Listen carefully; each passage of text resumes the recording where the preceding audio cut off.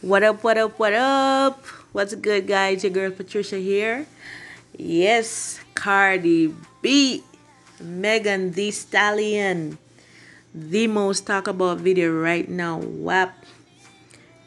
It has been dropped like 23 hours ago and it's already like 3.5 million views.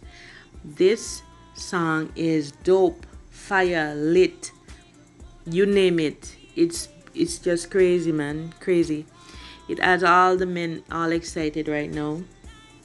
I love the video and whoever don't like this video is just low-key eating. For real, for real, for real. I think they did a really good job with it. It's a lot of creativity and a lot of thought was put into the video. You can see that very clearly. Yes, and it have a lot of um, punchlines in it that definitely stand out and one of them is the part when she said, I don't cook, I don't clean. Let me tell you how I got this ring, bro. Pure freaking is she talking about this. I think it was a awesome collaboration between these two amazing rap female artists.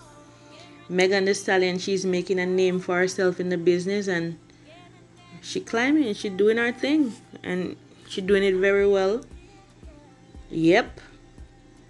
Um, Cardi B, you know, one of the times she was singing, she she said it herself. She was singing nice songs that she think the people they would like, but the people started to criticize um her and saying like what kind of stuff she's singing. They, so now she's singing the type of song that people want to hear. She's doing the type of things in her videos that people want to see. And um, this is kind of the norm right now. So i'm not going to criticize um, nothing about the video because it is it is it is what it is right now in this time. So far it's a wonderful song.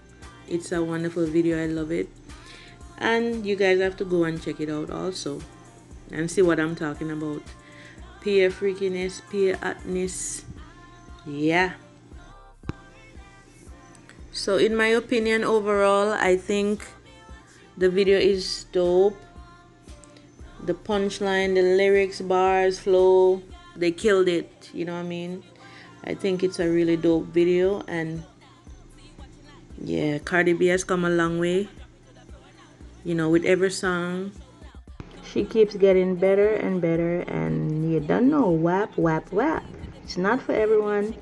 So yeah she gonna get a lot of bash and thing like that but that's how music is these days. Just kind of the norm